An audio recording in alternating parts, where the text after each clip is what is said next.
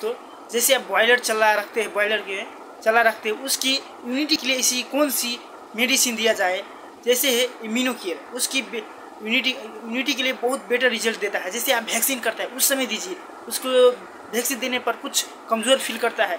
उसकी इम्यूनिटी में लिए बहुत इम्यूनिटी पुरियाने में बहुत काम करता है।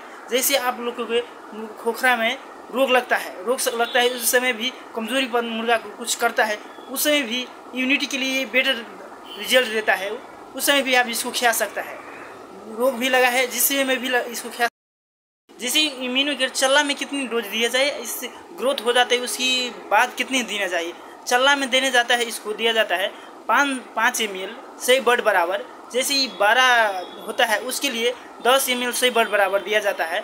जैसे कहते हैं जैसे इसमें कौन कौन सी तत्व रहता है? विटामिन ई e रहता है विटामिन सी रहता है एमिनो एसिड रहता है ओमेगा एफ़ रहता है। सोडियम क्लोराइड रहता है पोटासियम क्लोराइड रहता है, विटामिन सिलेनियम सेलेनियम रहता है, मैग्नीशियम सल्फेट रहता है, इसमें